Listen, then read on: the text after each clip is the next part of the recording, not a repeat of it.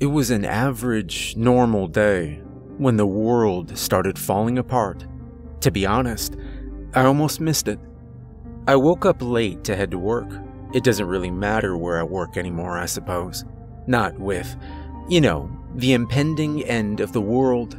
Let's just say I worked as an IT specialist at a large corporation. I wasn't looking forward to yet another long day of sitting around, explaining to Karen why she cannot print a YouTube video, or arguing whether or not Carl should be allowed to turn off his antivirus and be allowed to go to any site he pleased on company computers. I'll be honest, I seriously considered calling in sick, but my personal sense of honor and duty wouldn't let me. Maybe I should have.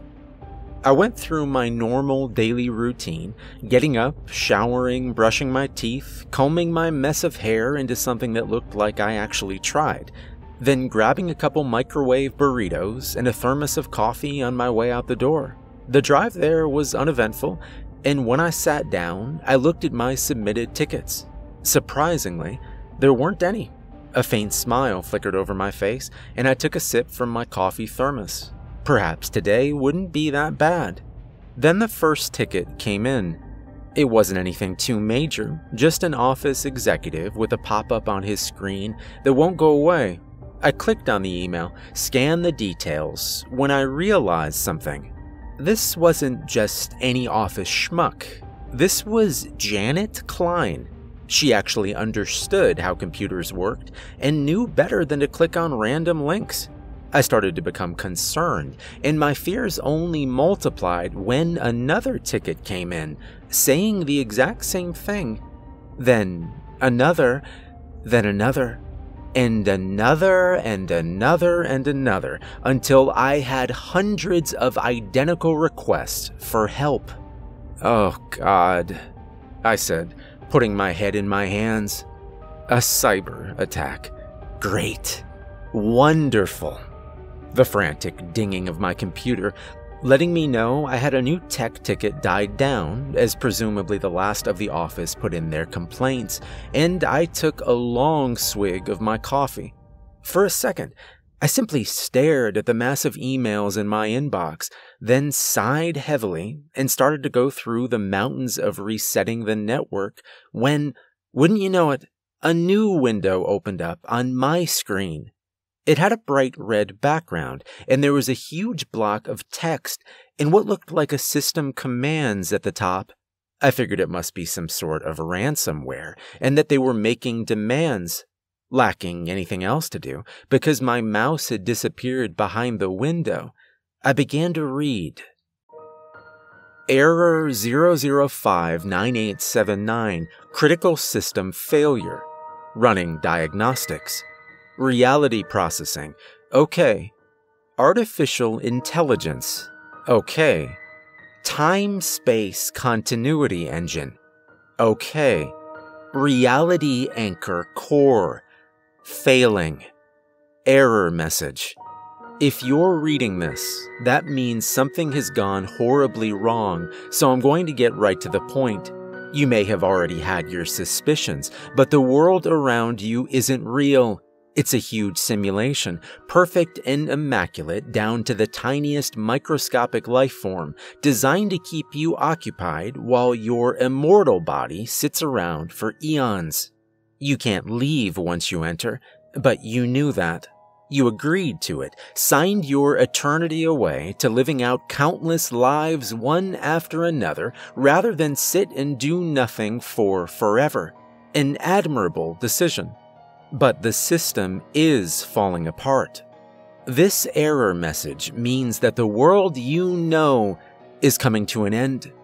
The rules of the reality you have spent countless lives in are not so slowly becoming irrelevant, and strange, inexplicable things are happening more and more. Monsters in the dark, strange places with strange rules, people going mad and committing horrible, inhuman atrocities, and soon the collapse of physics and space as you know it. You may have already seen it. You may have encountered a glitch already. Your reality has come unhinged. As for what you can do to stay safe, here are some general rules that alter the system slightly so that the reality is a little more stable in a given area. Always make sure the door latches when you leave a room and close it, even if you're coming right back. It reduces rendering for you, so there's less room for a glitch to occur. If you encounter a strange door or room in your house, do not enter.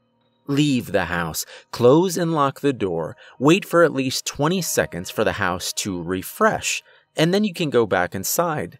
If the door is still there, ignore it until you go to sleep.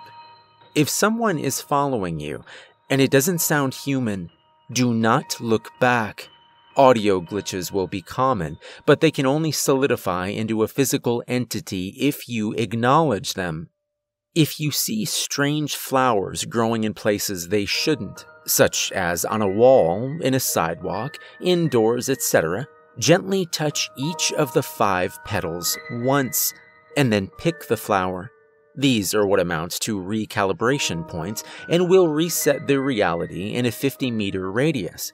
If you do this improperly, it will worsen the reality collapse. Do not practice witchcraft or any other forms of magic.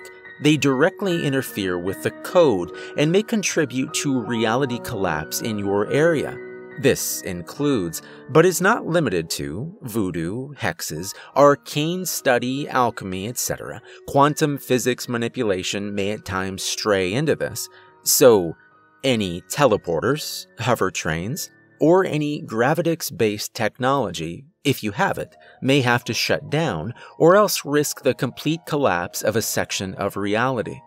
Finally, but most importantly, if you see or hear about or read about something inexplicable and horrible happening, believe it. Follow the rules your life depends on it. End of error message. I stared, and then I laughed. It wasn't nearly so serious as I thought. Just some asshole who decided to try and give the office a nice existential crisis to start their day. I rolled my eyes and went to hard restart my computer. I was still chuckling as the screen went black, all except the error message.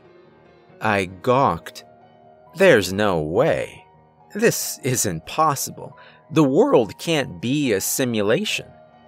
But disturbing thoughts flitted through my head. What if it's not a prank?